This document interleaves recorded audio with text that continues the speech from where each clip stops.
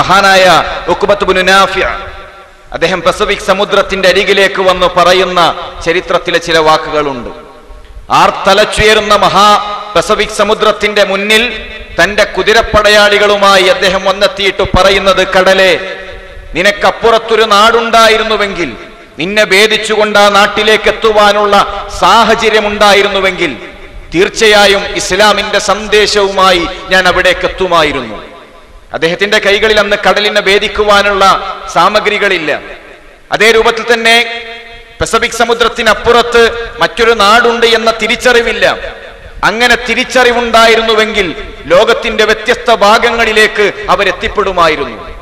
ഇന്ന് മക്ക മുഴുവൻ നോക്കിയാലും രണ്ടായിരത്തിൽ താഴെ സുഹാബാക്കടെ കബറെ നമ്മൾ കാണും.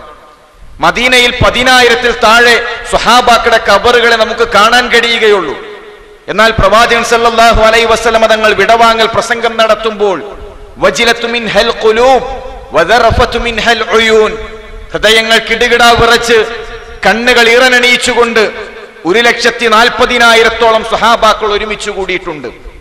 ഒരു ലക്ഷത്തി നാൽപ്പതിനായിരത്തോളം സുഹാബാക്കൾ എന്നാൽ അതിൽ പതിനായിരത്തിൽ താഴെ സുഹാബാക്കളുടെ കബറുകൾ മാത്രമേ മക്കയിലും മദീനയിലുമായി നമുക്ക് കാണാൻ കഴിയുകയുള്ളൂ.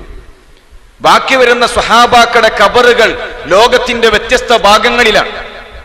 അതെങ്ങനെ വന്നു എന്ന് ചോദിച്ചാൽ മക്കയിലുള്ളതിനേക്കാൾ നല്ല താമസ സൗകര്യം ഉണ്ടായപ്പോ നാട് വിട്ടുപോയതല്ല അല്ലെങ്കിൽ എന്തെങ്കിലും പ്രതീക്ഷ പ്രകൃതിക്ഷോഭം വന്നപ്പോ മക്കയിൽ നിന്ന് നാട് വിട്ടുപോയതല്ല അവസാനത്തെ വിടവാങ്ങൽ പ്രസംഗത്തിൽ മഹാനായ പ്രവാചകൻ സല്ലാഹു അലൈ വസ്ലമ തങ്ങൾ പഠിപ്പിച്ചു ഒരായത്താണ് നിങ്ങൾ കേട്ടതെങ്കിൽ ഇത് അറിയാത്തവർക്ക് എത്തിച്ചു കൊടുക്കണം.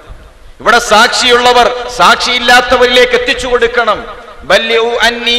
ആയ ഒരായത്തിനെ പറ്റിയാണ് നിങ്ങൾക്ക് ബസീറത്തുള്ളത് എങ്കിൽ അത് ജനങ്ങൾക്ക് പറഞ്ഞു കൊടു പറഞ്ഞു കൊടുക്കണം എന്ന് പറഞ്ഞപ്പോ എവിടേക്കാണ് ഒട്ടകങ്ങൾ തിരിഞ്ഞു നിൽക്കുന്നത്? അവിടേക്ക് സഹാബാക്കൾ യാത്ര തിരിച്ചു.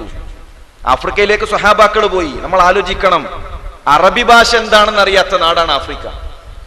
അവിടേക്ക് സ്വഹാബാക്കൾ ചെന്ന് ഇസ്ലാമിക പ്രബോധനം നടത്തി ആ നാടിന്റെ മാതൃഭാഷ മാറ്റി അറബിയാക്കി അവർ തിരിച്ചു വന്നു. അതാണ് സുഹാബാക്കളുടെ ജീവിതം.